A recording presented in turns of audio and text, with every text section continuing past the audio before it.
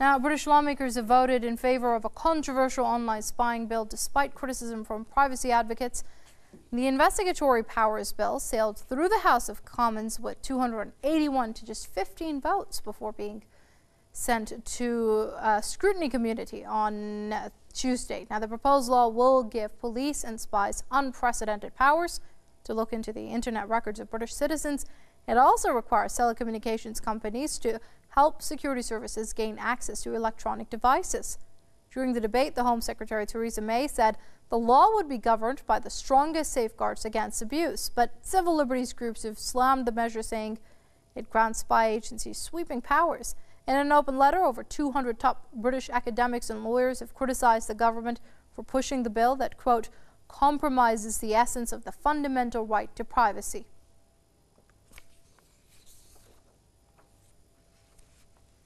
Joining us is our correspondent Mohammed Walji via Skype from London. Now, Mohammed, uh, tell us a bit more about this bill. On paper, at least, it is very alarming. Uh, and as that letter uh, by British academics and lawyers states, it does really compromise the right to privacy.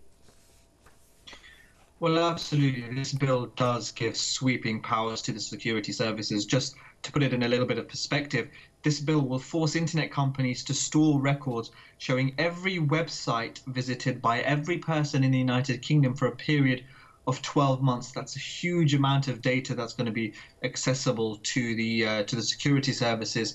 It's also caused a lot of consternation and, and, and worry by many journalists who who are fearful now that spies have the power to secretly monitor them and their sources as well. You know, during the debate in Parliament, you know, Theresa May's defined the law, saying it's it's a world-leading legislation and it's necessary to combat terrorism threats.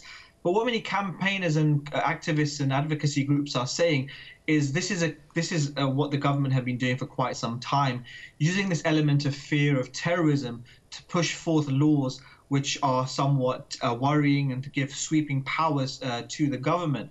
Now, as you mentioned, there was a letter signed by 200 uh, British academics and legal experts. And in the letter, one of the things that they actually said was that this bill fails to meet international standards for surveillance powers.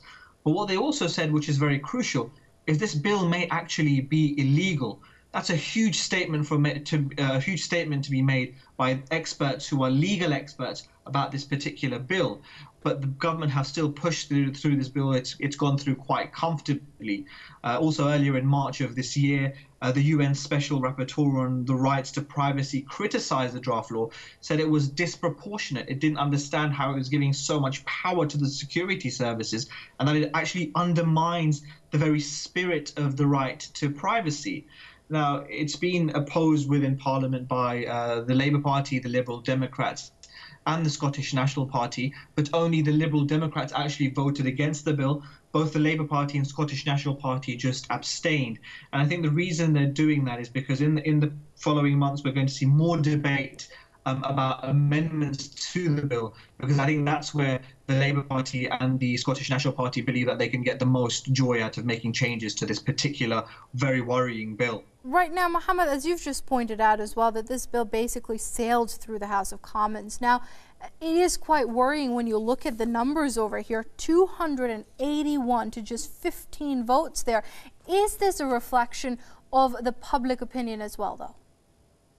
Definitely not the public opinion is the majority of the public in this country are concerned about their privacy. There's fear that the government and the security services have the ability and too much ability to sift through their own to sift through this uh, the information that they're looking at the privacy things which are private to them very personal communications public perception definitely is not supporting this particular this particular bill and the perception of uh, the parliamentarians. Now, the reason it's gone through so comfortably is because of the rhetoric used by the Conservative government and the Conservative Party of this fear of terrorism and this fear that the country needs to spy on everyone.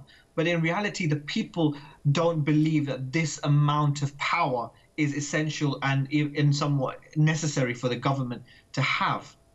Okay, let's leave it there for now. That's Press TV's Mohammed Walji reporting from London via Skype. Mohammed, thanks very much indeed.